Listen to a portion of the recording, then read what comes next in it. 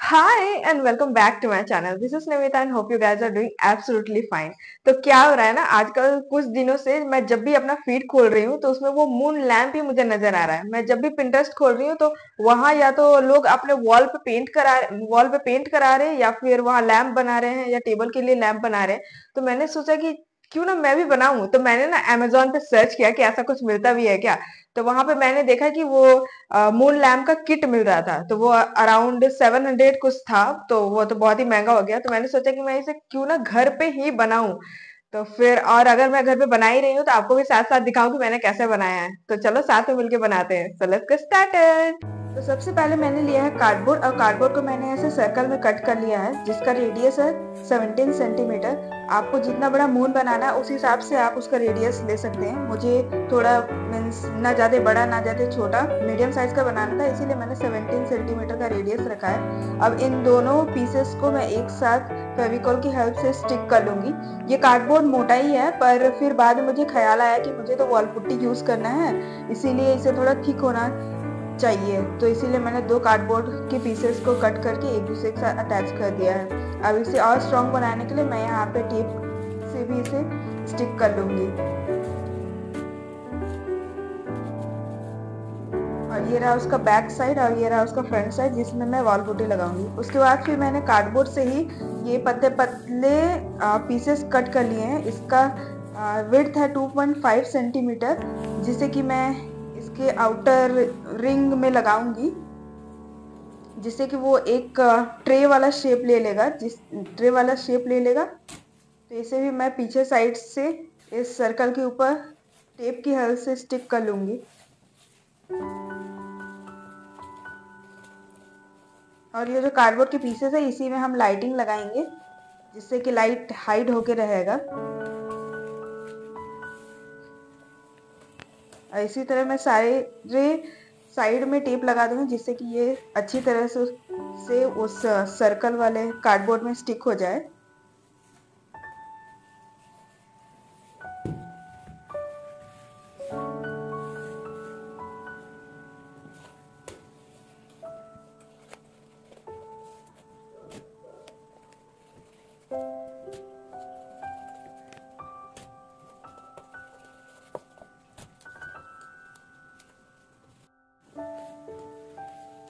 अब इन तीनों पीसेस को स्टिक करने के बाद ये कुछ इस तरह का लग रहा है। ये इसका बैक सा, बैक साइड है और ये फ्रंट वाला साइड है जो कि कटोर मीन्स प्लेट जैसा नज़र आ रहा है। और ये जो ये है मैंने इसके लिए रिंग भी बनाया है।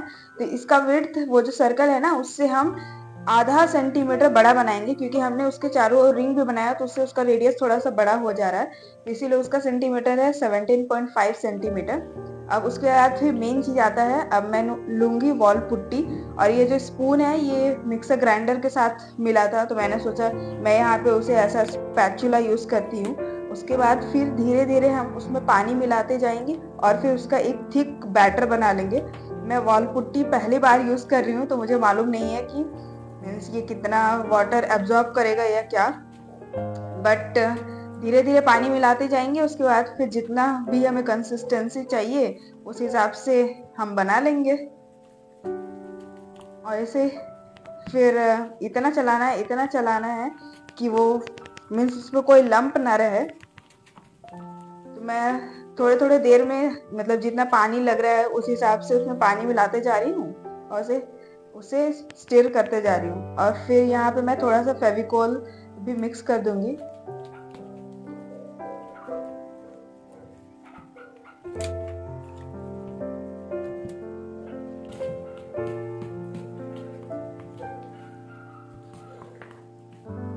करते करते मेरे हाथ में भी पेन हो गया बट इसे मिक्स तो करना ही है, क्योंकि इसमें कोई भी लम्स नहीं रहना चाहिए मीन्स सारा मिल जाना चाहिए। और मुझे लग रहा है कि ये जो कंसिस्टेंसी है ना इसका, ये ठीक है, ना ज़्यादा मीन्स थिक है, ना ज़्यादा वो थिन है। तो अब मैं इसे इस वो जो स्पैचुला है उसी की हेल्प से ही मैं उस कार्डबोर्ड में इसे स्प्रेड करते जाऊँगी। मुझे तो ऐसा लग रहा है कि मैं वो जो केक के ऊपर आइसिंग करते हैं ना क्रीम लगाते हैं, मैं वो कर रही हूँ। पहले मैंने सोचा था कि मुझे हैंड यूज़ करना पड़ेगा बट ये जो उस, ये जो स्पैचुला टाइप जो भी है समथिंग वो इतना अच्छा वर्क कर रहा है कि मुझे हैंड यूज़ करना ही नहीं पड़ा है। उससे बहुत ही इजीली स्प्रेड भी हो जा रहा है और फिर जिस टाइप का टेक्सचर मुझे चाहिए वो मिल जा रहा है तो मैं हैंड का यूज़ नहीं करूँगी। मैं ऐसी की हेल्प से इसमें चारों तरफ़ स्प्रेड कर दूँगी। और जो बीच का जो पोर्शन है ना, उसमें मीन्स थोड़ा ज़्यादा वॉल पुट्टी लगाऊँगी और किनारे किनारे थोड़ा थिन रहेगा। और जो किनारे किनारे है, उसमें तो मैं वॉल पुट्टी लगाने भी नहीं वाली हूँ, क्योंकि उसके ऊपर तो वो रिंग रखूँगी ना तो रिंग से वो छिप जाएगा।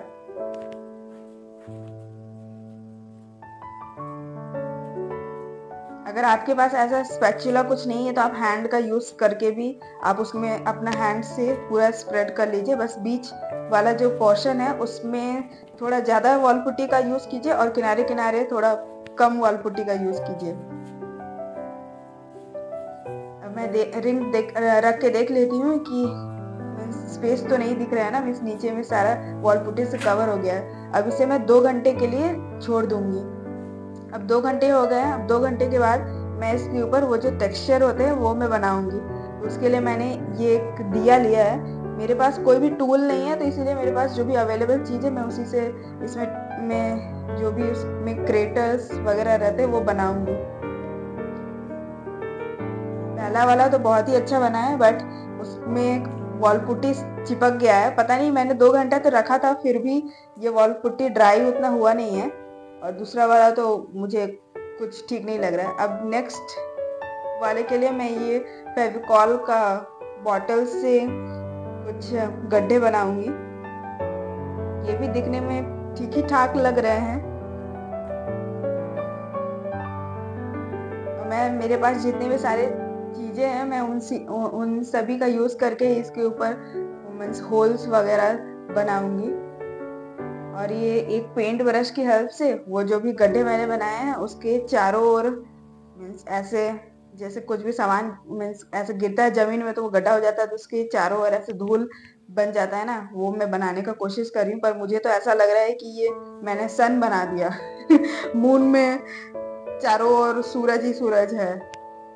पर ये सूरज नहीं है, ये उसका में जो गड्ढे भरे पड़े हैं ना मून में वो है।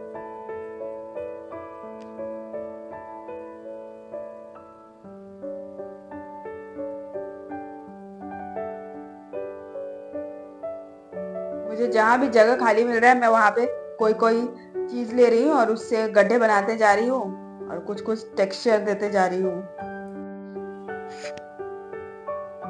और ये पेंट ब्रश से भी मैं जो सबसे छोटे वाले होल्स बना रही हूँ ताकि मैंने बहुत सारे रेफरेंस फिगर देखे, उसमें बहुत सारे मून में छोटे गड्ढे, बड़े गड्ढे और बहुत ही छोटे गड्ढे ऐसे भी थे तो मैंने सोचा कि मैं सारी चीज़ों का यूज़ कर लेती हूँ जिससे कि मून थोड़ा अच्छा लगे। अब ये लास्ट में मैं एक स्पॉन्ज लूँगी, फिर इसे उसके ऊपर डैब डैब डैब डैब करके उसका मीन्स एक टेक्सचर देने की कोशिश कर रही हूँ। अब पता नहीं वो कैसा लगेगा बट देखने में तो ठीक ही लग रहा है। ऐसा कैमरा में पता नहीं चल रहा है कि मैं क्या कर रही हूँ बट वो उस स्पॉन्ज की हेल्प से उसमें मीन्स बहुत ही अच्छा टेक्सचर आ मून वाला टेक्सचर आ जा रहा है। और आप देख सकते हैं, ये रहा सारा टेक्सचर वाला जो भी मैंने क्रिएट किया है। मुझे तो सबसे ज़्यादा ये वाला जो गड्ढा है ना, ये वाला मुझे सबसे ज़्यादा पसंद आ रहा है। और ये उससे मैंने एक दिन पूरा ड्राई होने के लिए रखा, ये पूरा ड्राई पूरा तो ड्राई नहीं हुआ है बट फिर भी चलो मीन्स इसके ऊपर मैं जो रिंग रखूँगी कार्डबोर्ड वाला, और लाइटिंग लगाऊँगी उससे काम मीन्स इतना ड्राई में भी वो काम चल जाएगा। अब यहाँ पे मैं कॉर्नर में एक कट लगा ले रही हूँ, जिससे कि मैं यहाँ पे लाइट इंसर्ट करूँगी।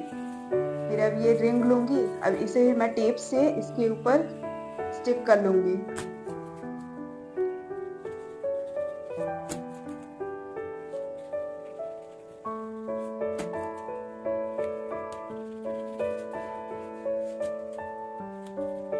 इसे बनाना बहुत ही इजी है। बस दो सर्कल कट करना है और ये इसके ऊपर वाला रिंग लेना है और वॉल पुट्टी लेना है और आपको टेक्सचर लगा, बनाना है। बस हो गया सिंपल है। इसमें कोई भी रॉकेट साइंस नहीं है। और ये जो आप देख रहे किनारे किनारे में स्पेस बच जा रहा है वो दोनों कार्डबोर्ड के बीच में। तो मैं यहाँ पे वॉल पुट्टी ले रही हूँ और इससे मीन्स पेस्ट बना के उसके किनारे किनारे जो स्पेस बचा हुआ है ना, उसमें मैं लगा दूँगी। ताकि कोई भी लाइट जो मैं लगाऊँगी वो इधर से पास ना हो। मैंने आज से पहले कभी भी वाल पुट्टी यूज़ नहीं किया है, लेकिन इसे बनाने के बाद तो ऐसा लग रहा है कि वाह मैं बहुत पहले से वॉल पुट्टी का यूज़ करते आ रही हूँ।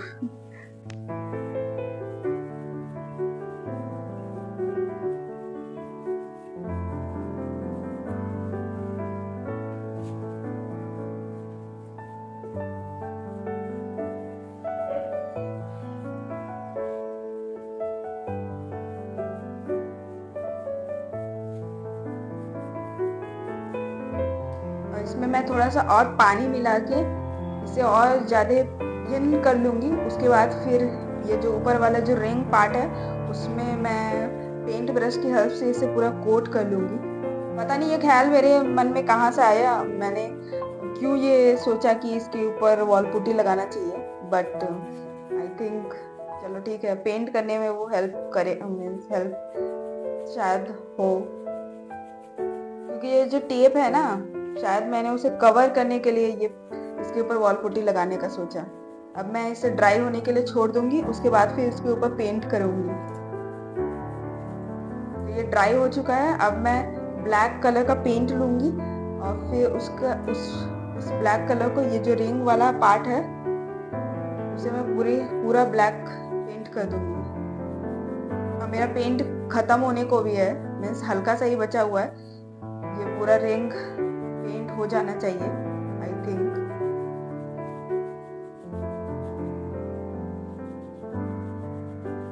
चलो फाइनली पेंट खत्म होते होते मेरा रिंग भी पेंट हो गया है।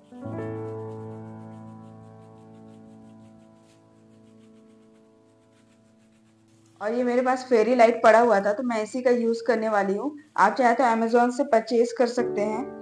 वो एलईडी लाइट का पूरा लरी आता है, आप उसे भी यहाँ पे यूज़ कर सकते हैं। लेकिन यहाँ पे आप जब भी लाइट लगाओगे तो ये रिंग लगाने के पहले लगाना। मैं यहाँ पे फेरी लाइट का यूज़ कर रही हूँ, इसीलिए मैंने इधर साइड से इंसर्ट करके उसे टेप से सिक्योर कर दूँगी। इसीलिए मैंने आखिरी में ये फेरी लाइट का यूज़ किया। अगर आप वो एलईडी वाला लरी का यूज़ करेंगे ना तो आप पहले वो लाइट को लगाना, उसके बाद फिर ये आउटर रिंग को लगाना।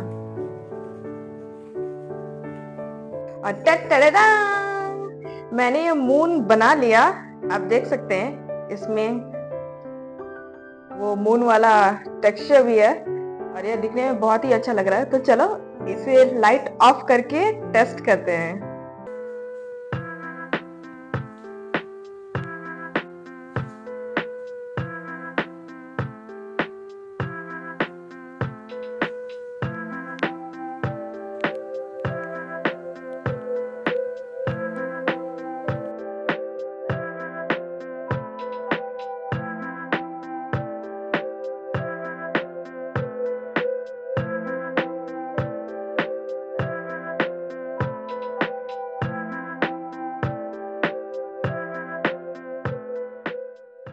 और अगर आज का वीडियो आपको पसंद आया तो please do like share and subscribe to my YouTube channel मिलते हैं अगले वीडियो में. Till then see you bye bye